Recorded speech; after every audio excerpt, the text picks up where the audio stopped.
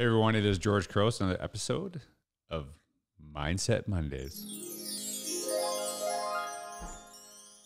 I love that sound. Hey, thanks for being here today. Uh, I was actually just thinking about um, which I was going to talk about next. This is episode six, and I actually was inspired by a very good friend of mine, Lainie Rowell. If you're not actually, if you don't know Lainie, you need to connect with her. She is absolutely a wonderful person. Lainie, you know what's coming up. Big shout out to Lainie Rowell.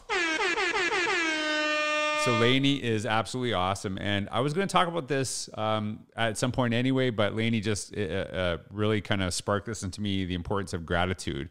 And she shared a post, and she's actually working on some stuff about gratitude. She's writing a great Edutopia article. You can actually see it uh, in the links below if you're watching this on YouTube or listening on uh, one of the podcasting services. And she just shared today a, a, little bit of gratitude, and she shared for her amazing family, uh, connecting with others personally and professionally, and for my family's health.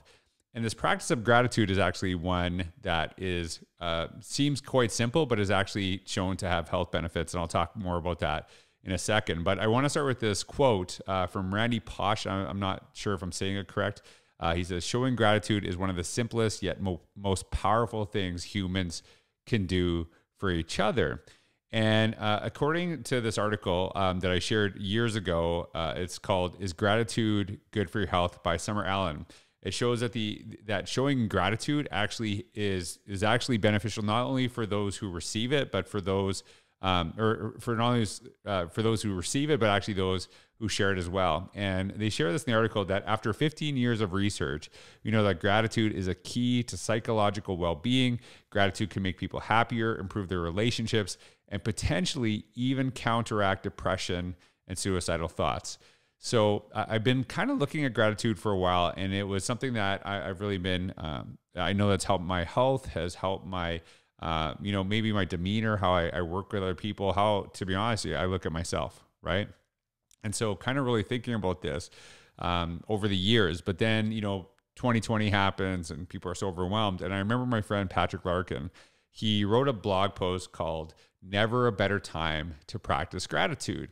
and I was reading it. I was very interested in the title. I was very interested in the content. And there was this one uh, point that he had shared, and I was kind of thrown off by it, to be honest with you. And he had shared this. He said, uh, "Find one thing each day that you are grateful for that would not have been possible if we were not in if we were not in these unique circumstances."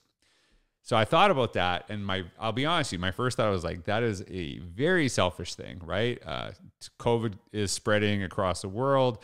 Uh, people are getting sick.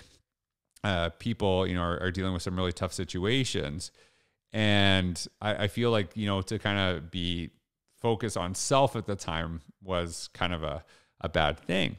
So I started thinking about it a little bit more because Patrick is one of the nicest people you'll ever meet in your life. He's absolutely wonderful, amazing educator, but way better human, just an incredible person. And so I started to think about it. I said, you know what? I'm going to actually try what Patrick suggests. So I started looking for what I was grateful for. And I'll tell you, um, as someone who was traveling and speaking, then all of a sudden that had stopped, obviously, as travel stopped all over the world.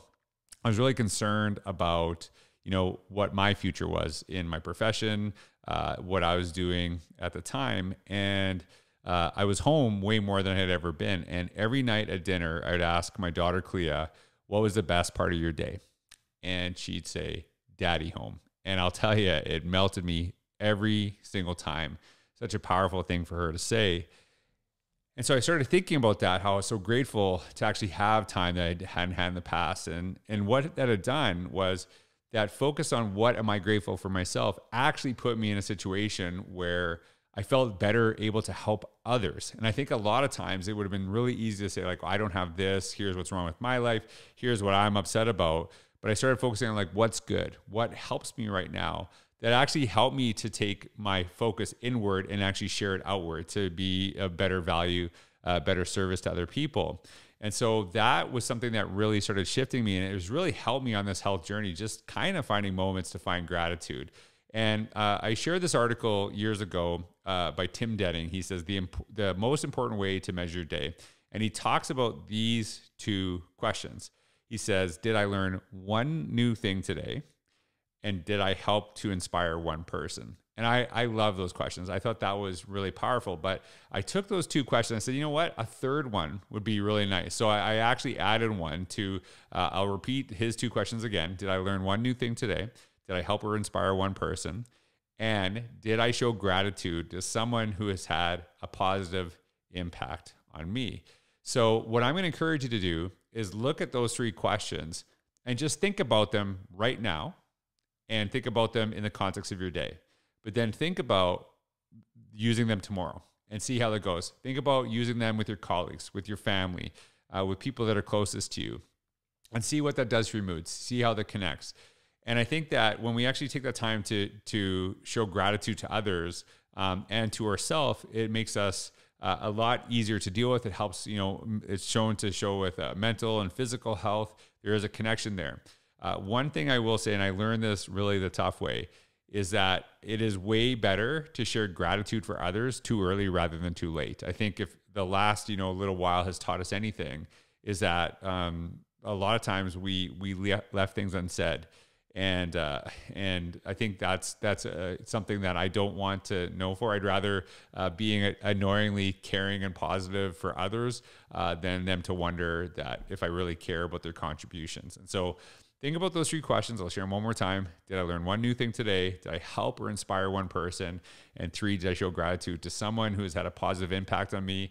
And I would love to hear what that has done for you. And you can actually share it to the hashtag Mindset Monday. You can tweet to me at, on uh, or share on Instagram at gcouros. I'd love to hear from you. Thank you so much for being a part of You Know What's Coming Up, Mindset Monday. Have a wonderful day. Thanks for taking the time to listen. Take care.